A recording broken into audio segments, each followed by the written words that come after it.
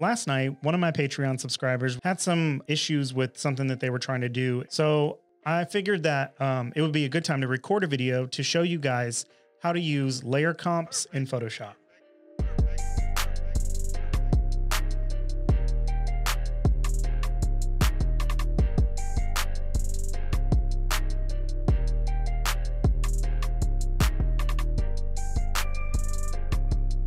All right, I already put this file together just to make this go a little bit quicker. Basically, what the person was trying to do was create several different profile images of people from a team, basically. So they all have different photos, they all have different names, but the template of the file was the same for everybody. So I went ahead and put together this image here with these abstract shapes and names here over this profile photo. So if we look at my layers here, you can see that I have three more photos of different people. So basically what we're gonna do here is create a text layer for each one of these people and their names that I made up and gave to them. So here we have, I already have Robin Ellis. So let's go ahead and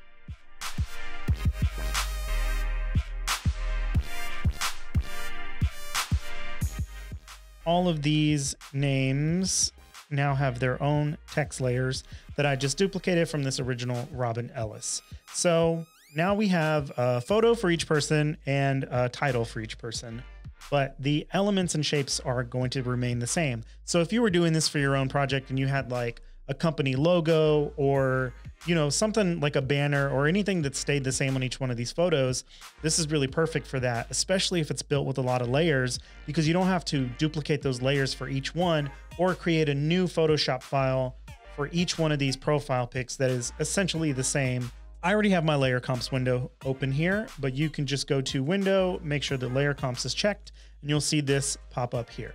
Basically, what a layer comp is going to do is allow you to save the state of your file based on what layers you have visible at the time. This Robin Ellis one is already completed, so I'm gonna go ahead and come over here and click on this plus button for creating a new layer comp. I'm gonna go ahead and name it Robin, and you can see that I have all of these items here checked. I don't think the layer comp selection for smart objects really, it doesn't do what it sounds like it's gonna do.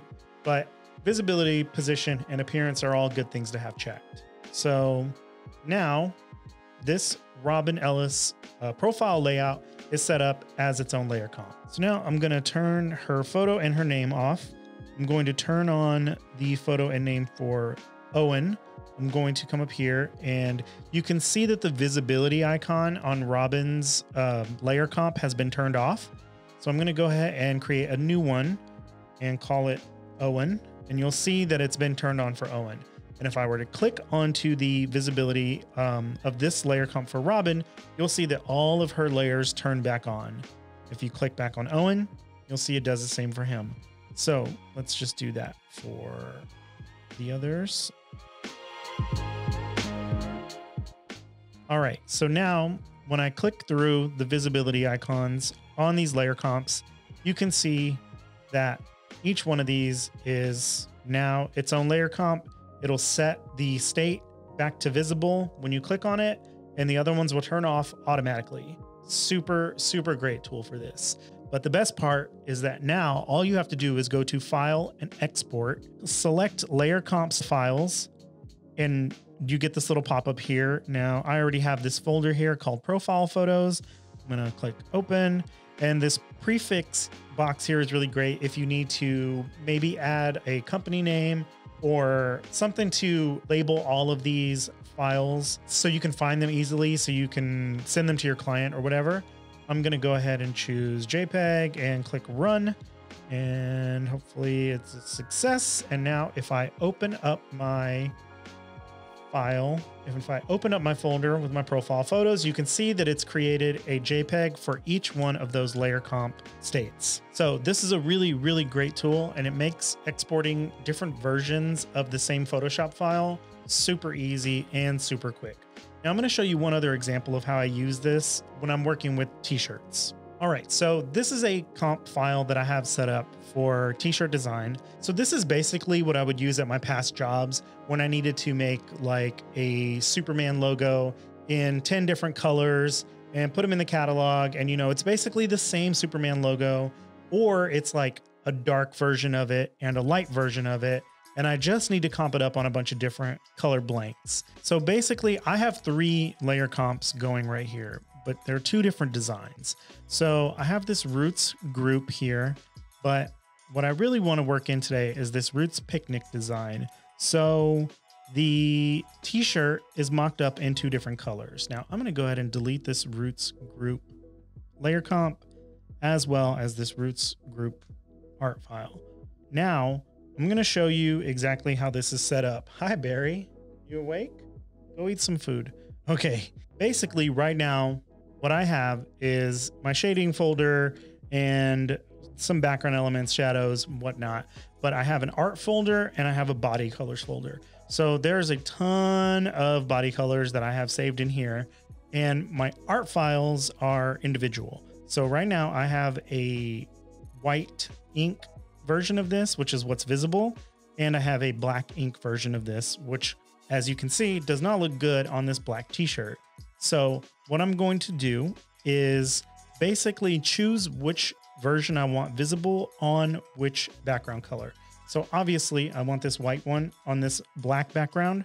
So here, let's go ahead and delete both of these layer comps that already exist. So let's say I have white ink, black shirt. That's shirt number one. Let's call it black tee and click OK. So now I have my black one. So now let's turn the black ink on, turn the white ink off, turn the white shirt on, make a new layer comp, call it white, and now I can switch back and forth between my black and white super easily. All right, so let's say I also want that white ink to print on a navy shirt. So make sure my navy layer is on, click new, call it navy T. And let's say I also want, ooh, how about that? Tie-dye with this black ink version. We'll create a new layer comp call it tie dye. And let's make one more for posterity. White ink on a forest green, no, olive green. Create a new layer comp, call it olive, click OK. So now when I go back and click through my layer comps, you'll see that each one of these individual things has been created. Now you could also add in more um, designs. So if I was just creating this for the roots today, and I also had other artwork, I could easily bring in, you know, a basic roots logo, throw it on a t-shirt, make its own colors, whatever. I can just do an unlimited amount of these layer comps. And then all I have to do is go to export and select layer comps to files I'm going to put it in that same profile photos folder just because.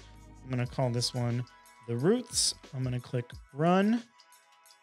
And it's going to take a little bit longer since I have more layer comps in this one and more layers in general in this template. But once it's done, we're all good. Let's go to our folder here. And you can see all of these JPEGs have been made from each individual layer comp in all of the states that I selected. All right, so there you go. Layer comps are a very good way to speed up your workflow and help you save a little bit of space on your computer too. Because if you had five different PSD files with all of these layers, so I highly recommend using the layer comp method whenever you're exporting multiple versions of the same Photoshop file. Like I said at the beginning, this was a request from somebody who subscribes to my Patreon. This is what you can expect from that. It's really easy to reach out to me, ask me some troubleshooting questions, or give me a suggestion on a video and tutorial you want to see, and I can put it together and really go through these things step by step to help you out. So please go subscribe to my Patreon page. For as low as $5 a month, you can get access to all of my fonts immediately and direct access to communicate with me to request these videos please make sure that you are subscribing on my YouTube channel if that's where you're watching this. And also follow me on Instagram. It's just at Nick Q. All right. Well, thank you guys for checking this out, and I'll catch you on the next one.